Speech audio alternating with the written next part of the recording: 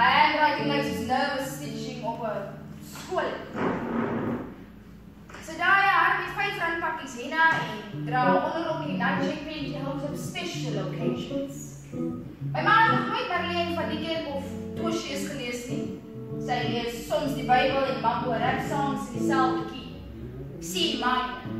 Dis die saam wat my ma maak wanneer sy huis skoon maak en ek in die kamer sit en dink die wêreld behoort aan haar.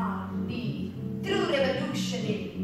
Haar heartbeat is a semi, haar touch is die wind van die vuur aanblaas en ek stap directly in die vlamme. Jy oud genoeg is om te bloei as jy oud genoeg om 'n kind te kry. As jy oud genoeg is om arm te wees, is jy oud genoeg om te suffer. As jy sê so serieus en die kind sê hulle, jy's verantwoordelik vir jou eie sondes.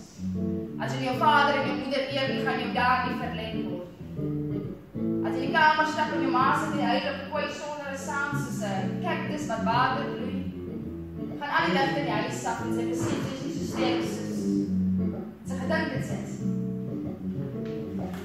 Die mense in die pad praat van my ma. Dis sy jonger was en sy so mooi soos Annelien Kriel en het al die beauty pageants gewen. Toe ek kleiner was, het my ma ons in die pad gestop en gesê, "Weet julle julle het hom mooi, ma?" My ma het gesê, "Ja, mooi vind jy my gat." Aan daar ingestap en snik en sê, "So mooi vrou." Nou is sy ook dood. My ma het gesê, "Ja, so vrek so vrot plan, want hulle betaal jy slaap jou skuld." Jy wou word aan mooi, dit was op aktief op jou suiker gevra. My son as kom meneer daar weird skin condition wat mens kry wanneer jy klere saamdra.